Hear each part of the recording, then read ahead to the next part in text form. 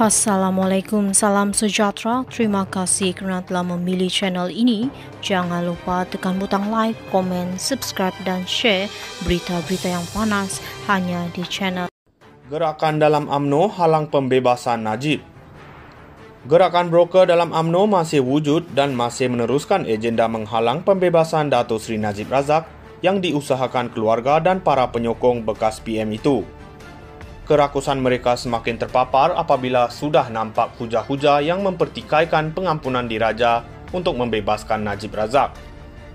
Malang sekali kali ini para broker turut dibantu oleh golongan kecewa yang beranggapan tidak diberikan sebarang keistimewaan dalam kerajaan termasuk tender tertentu walau AMNO merupakan sebahagian daripada kerajaan perpaduan.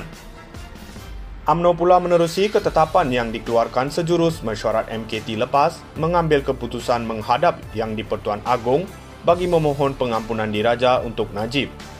Sebelum itu, keluarga Najib terlebih dahulu memohon pengampunan diraja sejurus beliau dihukum penjara oleh Ketua Hakim Negara di Mahkamah Persekutuan.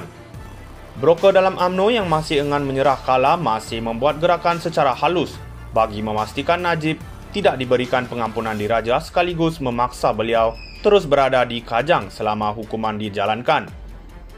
Platform media sosial digunakan bagi gerakan tersebut apabila ada aktivis tertentu mula mengusik beberapa isu ketika Najib menjadi Perdana Menteri. Kerja ini dipercayai didalangi mereka yang menerima bayaran dalam jumlah yang agak lumayan bagi memastikan Najib akan terus menerima tekanan jika diberikan pengampunan diraja. Walau masih belum dapat dibuktikan secara jelas, Gerakan tersebut dapat dihidu apabila siri usik-mengusik sudah kelihatan di media sosial.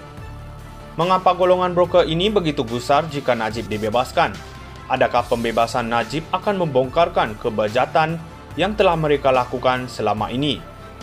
Walaupun kini para broker hanyalah minoriti dalam parti, gerakan mereka tidak boleh dipandang ringan.